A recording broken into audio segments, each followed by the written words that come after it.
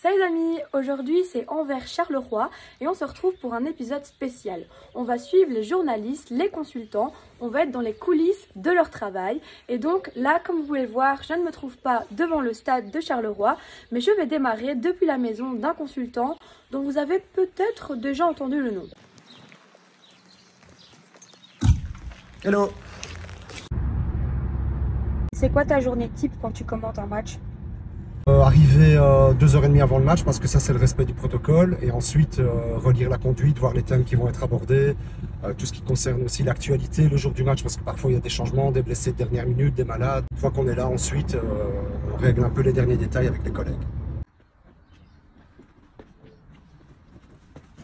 Comment tu prépares un match? Je, vais, je te jure, je me tais. Je peux pas juste parler comme ça. Juste, je vais parler.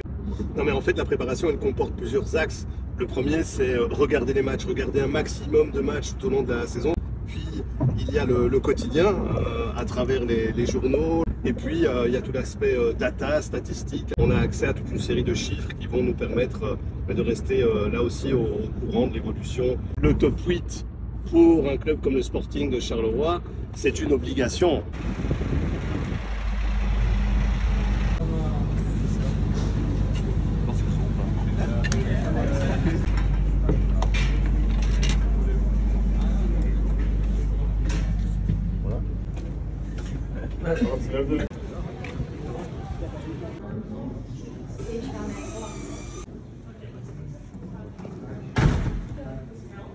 Je suis euh, aujourd'hui euh, co-commentateur pour Eleven, euh, côté flamand.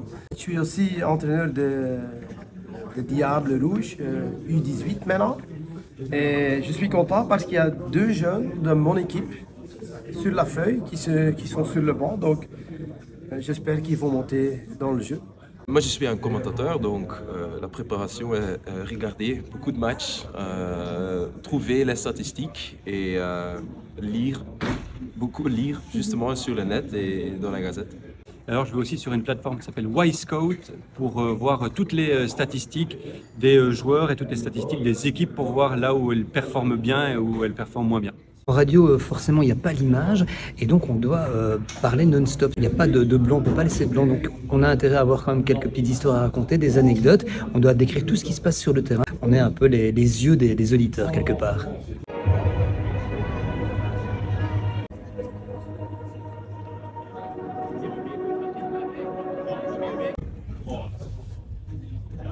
Je suis floor manager, c'est-à-dire que je fais le lien entre le cas régie et ce qui se passe sur le terrain. J'explique au réalisateur ce qui se passe, éventuellement ce que les caméras n'ont pas filmé.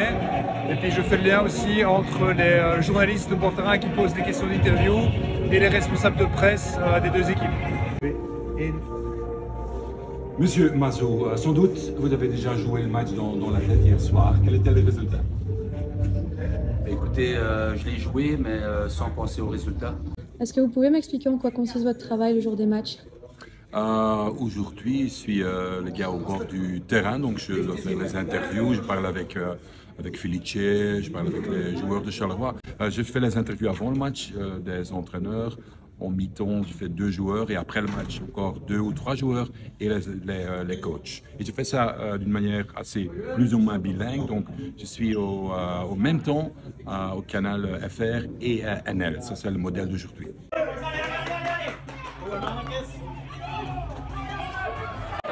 C'est parti pour le match et on va suivre la première mi-temps depuis le bord.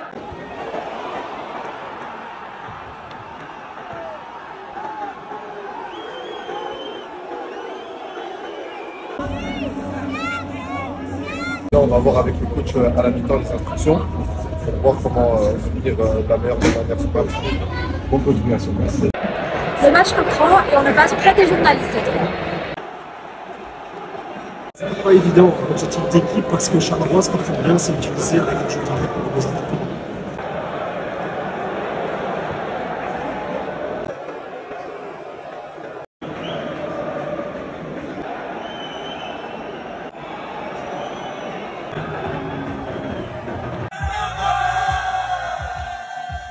Que des émotions de, de- de joie, évidemment. hein. Quel est votre sentiment, monsieur le coach Ben, mon sentiment, il est évidemment euh, extraordinaire. Bienvenue au forum. Des, des- des matchs comme ceux-là, ils doivent nous faire du bien euh, pour le futur, pour le mental et pour la cohésion d'équipe.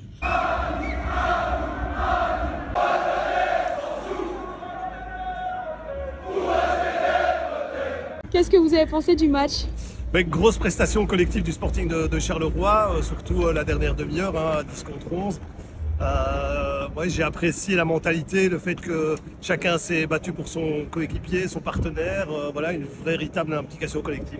Je rajouterais le fait du match, c'est l'interprétation du non-penalty en fait de, de je trouve que ça, va peut-être, je disais, faire jurisprudence dans l'esprit des arbitres, peut-être, j'espère en tout cas. Et voilà, le match est terminé. Superbe victoire du Sporting. On se retrouve dans deux semaines après la trêve internationale. Et n'hésitez pas à me dire par commentaire si vous avez des idées de prochaines vidéos. Salut